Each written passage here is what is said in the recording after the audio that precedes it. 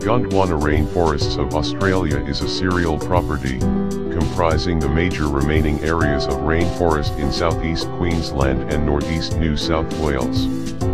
It represents outstanding examples of major stages of the Earth's evolutionary history, ongoing geological and biological processes, and exceptional biological diversity.